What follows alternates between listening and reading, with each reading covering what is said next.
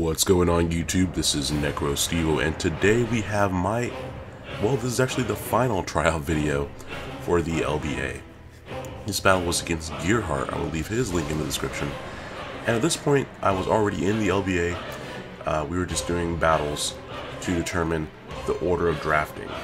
Uh, I think Gearhart actually went into this battle wanting to lose so that he would be able to go last in the drafting process. And I was just so overjoyed to be in the LBA that uh, I was like, you know what, let's battle right now. And we took this battle right after I got off work. I was super freaking tired. But he had a really interesting bulky team. You can see we have some similar team synergy going on. Both with fairies, both with Hydreigon. Uh, he does have a Mega Swampert on his team. And I kind of misplay against that, which is my downfall. But that is okay because I am able to come back from it in a sense. And Jellicent is going to be a decent answer to Tentacool until I find out that he has Giga Drain, which is not something that I see very commonly on Tentacools. Uh, typically see, you see Tentacool with Giga Drain when he's trying to deal with a specific threat. And that sucks, because now I can't really leave Jellicent in on it because between the Acid Spray and the Giga Drain, I'm going to be taking a lot of damage. Uh, I did just want to burn Tentacool to make sure there was some residual damage because you saw how pathetic my Shadow Ball was against this Tentacruel. I didn't want to rely on that little pittance of damage. Predicting some type of water type move, I decided to go on to Hydreigon. Uh, I didn't think he'd keep on going for Giga Drain and Scald, because I could easily switch in Scizor on that, and Scald would punish Scizor for switching in. Now, of course, this is the Assault Vest Hydreigon Triforce, and I'm just going to U-turn out of here because I knew you would probably switch out not wanting to take a Draco Meteor, and I don't have Flash Cannon on him, which sucks. If I had Flash Cannon on my Hydreigon in this battle, it would have been a little bit different of a match. But I am able to go out into my Scizor, and it's time to uh, force some switches with some Life Orb attacks.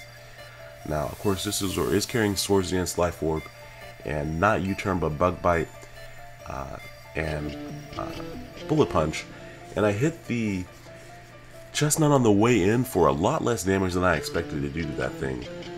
Uh, I just I guess he was expecting me to U-turn now, so he goes for Spiky Shield, but I don't have U-turn, and I didn't want to risk Bug Bite not doing enough damage to him, so I just switched directly on the Florges, just to go for a Wish here, and hopefully I can get my Manectric Mega evolved at some point.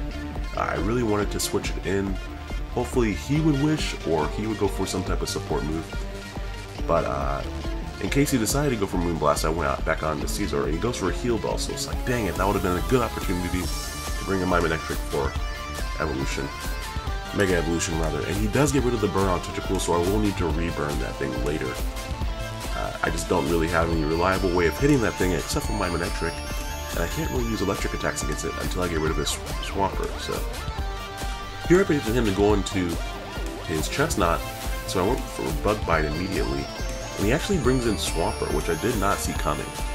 I did think that I could outspeed Swampert because this the rain was not up and it's a Mega Swampert and I figured I could probably outspeed it before he Mega Evolves. But he actually has max speed probably Jolly on his Swampert while I'm max speed Adamant. So he outspeeds me and gets off a ton of damage with Earthquake. And now I only get one more attack on my Scizor, which really sucks. So uh, I'm just going to go ahead right now and switch out as he brings out his Espeon and then doubles onto this Hydreigon which was really risky. If I had just gone for Bug Bite, I would have immediately knocked out his Hydreigon. Uh, but um, he's actually going to go for his own U-turn on his Hydreigon. And now this gives me an opportunity to wish again. And I didn't really know what to expect from his Espeon. Since he was having a few unconventional sets already, I was thinking maybe he's the Calm Mind Stored Power set. He can also pass Wish and Baton Pass and Calm Minds with Espeon as well. But I ended up trying to bring in Manectric here, he goes directly for Psyshock, which was a little bit scary because it almost immediately KOs me. But now, uh, I'm just going to switch back on to Triforce here, expecting another Psyshock. And he goes for a Baton Pass, and that sucks because that was another opportunity I could have had to Mega Evolve. I was afraid he'd get a crit or I'd be on too little HP after Mega Evolving, after being hit by another Psyshock, to really make it worth my while. Uh, so now I'm going to U-turn, we're going to go back out into another Pokemon here, excuse me. And this is a good opportunity to try to set up another wish. I need to keep, that's basically the theme of this battle, is just we're us trying to keep our teammates healthy as long as we can. Uh, and it's funny that this ended up being such a long battle, because neither of us really brought Stally Pokemon. Like, the only thing that I had that can recover its HP is my um, Florges. Meanwhile, the only thing he really has, he has Wish on his Sylveon and Giga Drain on Tentacool. And I haven't had an opportunity to get up any entry hazards yet. So, there just hasn't been a good moment to do so. We're forcing switches constantly. And here, I expected him to go for Scald. I was hoping he might go for uh, uh, his poison attack, the acid spray. But unfortunately, he gets the burn, which sucks because now my longevity is demolished right there. I will finally get a chance to Mega Evolve and go for a Volt Switch. Uh, with Swampert out of the way, that, that really just opens the road for my Manectric. But since I'm burned, I really need an opportunity to go into Florges and use Heal Bell. So, we're going to go ahead and Volt Switch right now. I knew he would switch just because why would he stay in? Even though he probably could take a single Thunderbolt, he wouldn't be able to KO me back. I think this is a decent opportunity to set up my entry hazards, so I go out into Judge Tread just for that. Uh, I knew he still had Espeon left, so there's no reason to try to set up my entry hazards yet. I'm just going to go straight for Earthquake, and that works out nicely. This is a max attack Donphan, and so I'm able to finish off Espeon in a single Earthquake, and now I can definitely set up my entry hazards. Unfortunately, uh, that means that I might have to risk taking a grass type attack to do so, which I don't really want to do. And that means I need to go out into just one more time. And he surprises me by going for Belly Drum. Uh, and I went and looked at the speed tiers for Chesnaught really fast. And he does and he doesn't have a Salac berry. I think he may have given Chesnaught the wrong berry. I'm not really sure. Uh, but without a Salac berry, he doesn't outspeed me, so I just Moonblast him in the face and I think he just may have had the wrong item on his Chesnaught there or something. I'm, I'm not really sure what was going on there. But, wow, really? People honking in the parking lot? No, it's not the time. Not the time. Calm down out there. So once again, out into Assault Vested. Triforce here on the attacks from Tentacruel. And even after the minus two, I take that really nicely. And I thought that he would stay in, so I just went for Draco Meteor. Yes, it is completely uninvested, but I wanted to see how much it would do. And man, is he specially defensive, because that just did pitiful damage. Um, normally, Hydreigon's special attack stat, even uninvested, allows me to do a decent amount of damage. Uh, but he does make a good move, going for a Sludge Bomb. He gets the Poison Hack, so he's gotten the Scald Burn and the Poison Hacks so far. And I just need to burn the Tentacool again. But unfortunately for me, I missed the stupid Will-O-Wisp. Uh, and so that that's going to be it for Sir Stash here, because now Tentacruel's not burned. I have no way to really reliably damage it outside of Manectric, because Donphan is slower than it, so I can't use ground attacks from it without risking a Scald Burn. Uh, so that miss really, really hurt. And so now I'm going to go back out into my Manectric to scare him out one more time. And I know he's probably going to switch into Sylveon, so I went for Thunderbolt just to get a little bit more damage. But he actually ended up staying in. Um, I was surprised by that. I guess he stayed in and went for Acid Spray, expecting me to Volt Switch. But now I can almost, if I had hit him with uh, the burn, I would have been able to 2 hit KO him with Thunderbolt easily. But that uh, that does force him out, so I now know, okay, definitely go for Volt Switch now, because he's not going to stay in. And so I'm able to Volt Switch out. This gives me a free opportunity to go back into Iris, and I can definitely use Florges to, to, to hopefully here, I wanted to really go for Heal Bell. I wanted to get rid of the burn and um, hopefully see what he was going to go for. But since he went for a Thunder Wave, um, I'm going to be using Heal Bell a little bit earlier than I predicted. I wanted to use Wish and, and kind of just play some shenanigans there. But unfortunately, I get paralyzed as he U-turns out, which gives him a free switch back into his own Sylveon, which is just annoying because that means he gets a free wish or something. I would have loved to have gotten rid of the paralysis and the burn on that turn and not be in a position where he gets a free turn like that. Uh, he, for wanting to lose, the game sure to give him a lot of hacks in his favor, I will say that. Very annoying. Uh, so we both go for our healing moves. He goes for the aromatherapy as I go for my heal bell. Teammates are once again healed of status. I am liking Iris more and more as um, one of, well, I'm sorry, Florges. This one is nicknamed Iris. It's one of my favorite fairy types. Uh, it's just so versatile, and then it has a nice special attack stat, so that it's not kind of sitting and and being just attack fodder uh, or setup fodder rather. The only bad thing is is that it doesn't have a very good ability that's good for singles. Um, so I finally do set up Stealth Rocks. I took that Moonblast a little bit worse than I was expecting to. I was trying to decide if I should just outright attack him or set up Stealth Rocks, and I thought maybe I can live another one, maybe he got a high roll in that Moonblast, and unfortunately he 2 KOs me, which sucks. Um, I, and, and, looking back on it, it would have been better to go ahead and go for Earthquake, because I would have forced him to go for Wish, and then I could have set up my Stealth marks. Um, that's the order I probably should have done that in. But either way, I have my Stealth Rocks up. Finally, he can just come in with Tentacle and spin them away, but my plan is to keep enough pressure on him so that he is unable to do so, basically. Uh, so he is able to get the special attack drop on that Moonblast, and that kind of puts me in a position where I'm just going to wish, because if I use Moonblast on my own, it's not going to do very much damage, unfortunately. And he actually ends up doing the same thing. So, with that, it's just a matter of trying to predict what he's going to switch into, and I think he's going to try to predict what I switch into. It's really tempting to just try to switch into Scizor, but at any point he could just go for Moonblast and knock out Scizor on the switch in.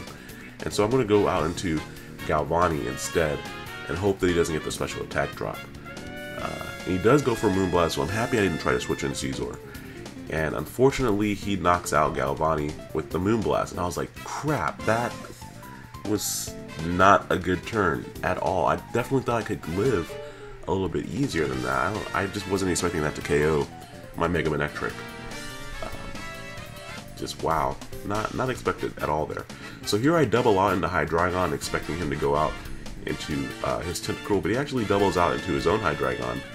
And I know I can take his Hydreigon one-on-one just because I'm Assault Vested. Uh, so, and I just decided to go for a U-turn there because that would kind of be my best attack, generally, against this Hydreigon. I didn't want to go for Draco Meteor in case he switched into Sylveon. All those good shenanigans aren't going to happen. And if I go for U-turn, of course, that allows me to put a little bit more pressure on him. Once again, I go out into Scizor just to scare him out. Even if he's a defensive Sylveon, he does not want to take a bullet punch. Granted, I only have one hit from Life Orb left, so if I had one more HP point, then I would have been able to do two hits from Life Orb, which would have been nice. Uh, and he, unfortunately, he calls my bluff right there, and he stays in and goes for Protect just to see what I was going to do. And it sucks that he has Protect, because now he'll be able to predict what I when I'm actually going to attack with Scizor, and I'm going to switch it out. Uh, now, as he switches into his uh, Tentacruel, I went for Moonblast, which sucks. I, I really was thinking he would predict me to go out into Scizor, and then he'd switch into Hydreigon. That's what I predicted him to do right there. So that's unfortunate because he's going to be able to go for Acid Spray or Rapid Spin. He'll be able to do whatever he wants, basically. And Acid Spray doesn't do much on the first hit, but it does lower my special attack. And basically I'm just stuck Moonblasting him here because I don't have anything I want to switch out into. Uh, it really would have been nice to have Psyshock on my um, Florges at this point, but you can always look back in, in those situations with incredibly great perception because it's it's hindsight. But that's okay. I'm just gonna stay in here, do as much damage as I can, until I'm at least trying to force him to switch out. He is getting special attack, special defense drops, but I'm getting special attack drops from my Moonblast. And he's, we're kind of at a little bit of a stalemate at this point. It's come down to I have my Florges, my Hydreigon, and my Scizor with one Life Orb hit left. And he has his Tentacruel, his Hydreigon, and his Sylveon. Um, at any point, I'm trying to kind of predict when I can switch in my I want to force him to keep on going for these poison type moves because it would be really cool to switch in Scizor on one of those poison type moves and get a wish up but obviously he's predicting that very nicely and I'm unable to switch in my Scizor because he can just go for Scald on that turn so I just ended up leaving an Iris going it's way too obvious when I'm trying to switch in Scizor I need I just needed a, a an eject button that I can just pop into the battle at any point basically um, so I ended up switching in Hydreigon here I figured I could take him out from that point with a Dark Pulse, hopefully. He goes for Sludge Bomb, and that does pitiful damage. I was like, please take him out with a stupid Dark Pulse. I'm so tired looking at the squishy, and I finally take out the Tentacle. Man, if Manectric had not gotten knocked out that early in the battle, that would have made that a lot easier. But now that Tentacool is out of the way, I can. I was just hoping for a flinch on the Sylveon because I figured I could put it into a range where he'd want to wish if I can flinch him a few times. I'm unable to get that. And of course I can't take a quad effective stab, super effective uh, Moonblast. And so I'm, I'm going down there. And that actually was a misplay. I should have just gone out into Florges. That would have been the better play to do right there. So I'm going to go on to Scizor now. And I've been switching Scizor out so much that I was expecting him to just stay in. Um, expecting the Bug Bite or something like that. But he actually goes out into his Hydreigon at this point. And I was impressed with how much damage that did. Uh, but that's going to be my last Life Orb hit, which means I'm down to just Iris. And that's exactly why I should have saved my Hydreigon, because if I had just gone into Florges on the last time instead of letting Hydreigon get KO'd by the Moonblast, then I'd be in the same situation, but I'd be up a Pokemon. So now it's going to be down to just Fairy versus Fairy at the end of this battle. And it's going to come down to who can get the most special attack drops, basically. Because I'm faster, but I think his attacks are doing a little bit more damage.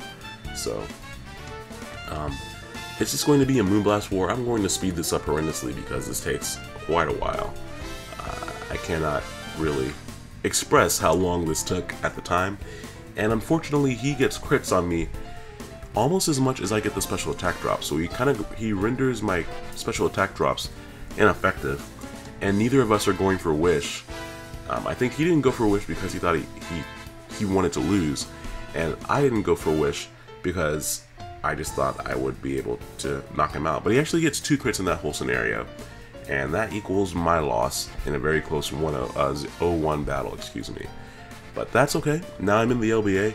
I'm just really low on the seed list, and that means the next battle that I upload will be my first LBA battle from week one. So look forward to that, and I'll talk to you guys later. Bye bye now.